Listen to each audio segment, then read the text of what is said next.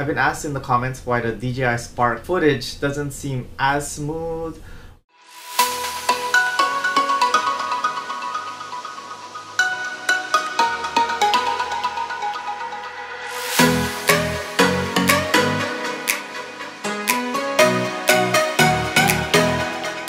Chris at Island Tech here. Welcome, welcome to Island Tech. I've been asked in the comments why the DJI Spark footage doesn't seem as smooth or jerky when reviewing, especially doing kind of strafing shots, you know, moving left to right or pans or one of these orbits. Uh, I did some digging. There are two main issues that I found out. It could be the software that you're editing on and how your computer reads it.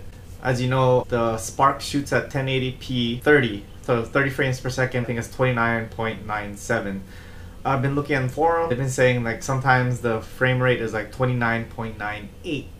And so whatever interpolation it does in the software, especially if you you're gonna reduce it in speed, then there could be so, that one decimal point or 0.01 decimal point could be causing that issue. But there's a workaround. Um, at least I found it thanks to some guys on the web. I'm gonna be uh, editing on iMovie. My my whole thing is keep everything simple. So I have iMovie on my MacBook Air. Again, these aren't high powered machines. Yeah, let's dive into it. Let me know what you think. Uh, Tony Lorenzen, um, check this out: how to fix your iMovie, how to fix your iMovie and DJI Spark uh, jerky footage, as well as um, combination of them, and as well as uh, yet another solution FPS projects. So I'm gonna combine all these tutorials. I just wanted to show you these two these two links because it helped me figure out what was going on. So how do you fix that and what do you do? People have been asking me what program I've been using to edit my videos. I use iMovie.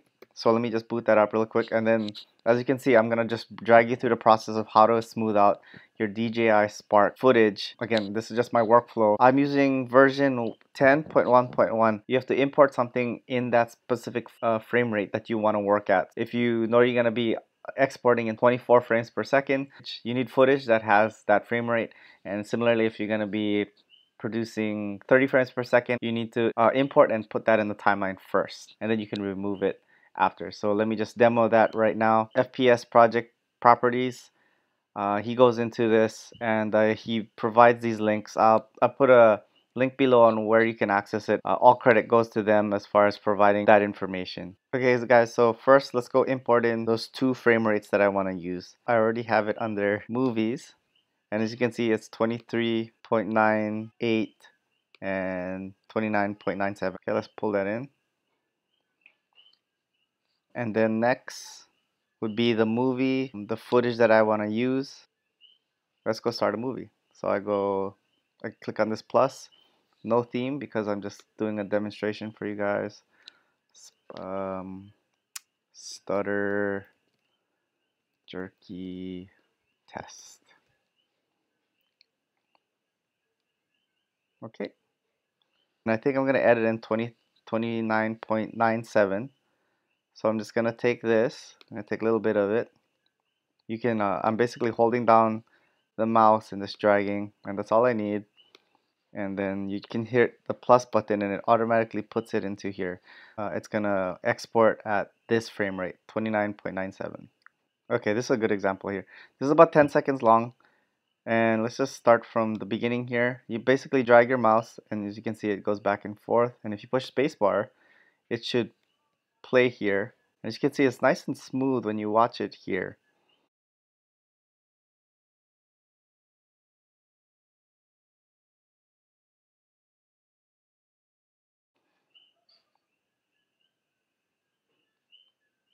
Okay, but if you double click on it, it'll highlight the whole bar, and if you click plus, it, it takes the entire thing into uh, your playhead here.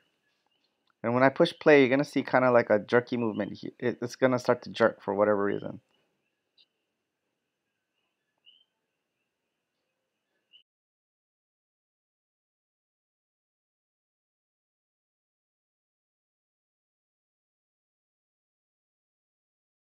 Like just watch the waves. It, you can, it's really odd that it does that.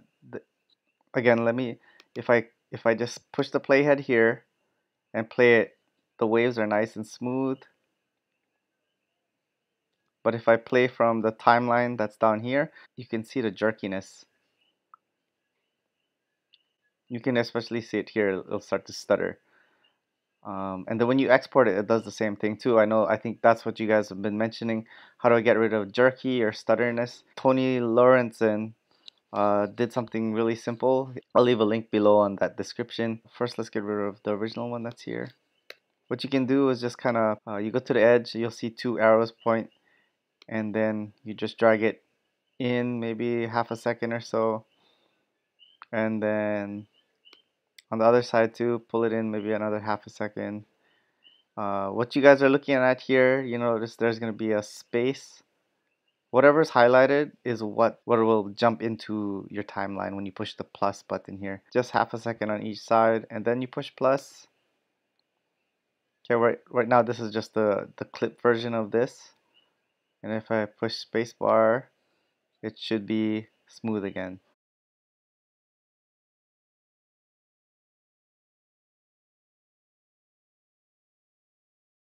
Then I'm just gonna do a quick export just to show you guys that the footage is fairly smooth. I'll leave all these samples for you guys below to take a look at, to play around with if you guys are moving with iMovie. Let me just double click on this again, highlight this whole thing so you can see that kind of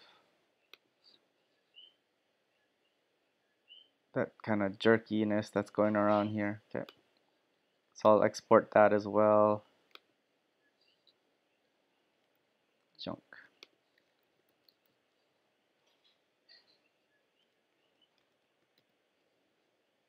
And I'll export as well. So that exported. Yeah, let's take a look at the footage. So all you saw, so let's just recap what happened. Basically, uh, I have the raw footage, which is this one, 10 seconds long. So you can see it's nice and smooth no jerky movement or anything like that.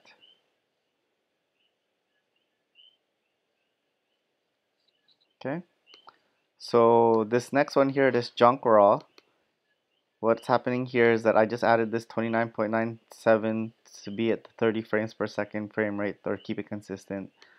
But also, let's see, um, I just imported whatever the raw was onto this timeline. So let's push play and you can see there's some jerky movement going on here. It's not the computer playback or anything like that. It's just what happens. I don't know if it's like exporting in. I, am actually not, I'm actually not sure, but it just, it causes that, and I'm I'm I'm guessing that this is what people have been saying. They're being frustrated with iMovie and how it's exporting out uh, their raw footage. So what I did then again for demonstration purposes here this is the footage I just shrank it about half a second on both sides. I think you can just do it on one side to be honest. And I exported it again. And then I exported it again which is the shutter jerky test. Again it has a 10 seconds in the front. Let's just go through that. And as you can see it's smooth again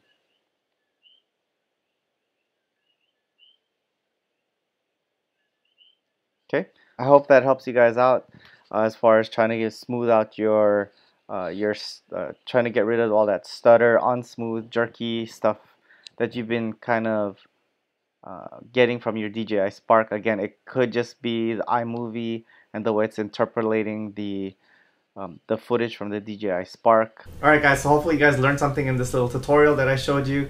Um, again, I went over how to edit the Spark to kind of to more or less remove the stutter or stutter or jerkiness that you may have been witnessing on the footage. Take a look at it. Again, it's just clipping 0.5, 0.5 seconds or less in the front or the front and rear of the clips that you want. I'll leave a link below as far as the three different shots that I have. Um, one being the raw footage that you guys can download and see and edit, see what you guys find. And then the edited footage, uh, there's two versions that are edited. One is called junk. No editing has been placed. I just basically run the raw footage in and then export it out again. And then the next one is um, final, basically shortening the film in the beginning and end and then re-exporting it out and that ended up uh, much better much better and much clearer Um, also in that link, I'm gonna include these two keyframes if you are using iMovie, if you want to export in uh, 30 frames per second or 24 frames per second. I'll, I'll include that in there, as well as the the two guys I want to give credit to who's uh, helped me in finding the solution to this. I'd like to know if it helped you guys. Leave a comment below. I'm very interested to see if you guys are running into the same issue. If you like the video, give me a thumbs up. And I just want to thank you guys for tuning in. Uh, for those of you guys who already subscribed to my channel, thank you very much for the support. If this is your first time, please subscribe to my channel. Continue to tune in all the time, every time for new episodes. As always, fly safe and mahalo plenty.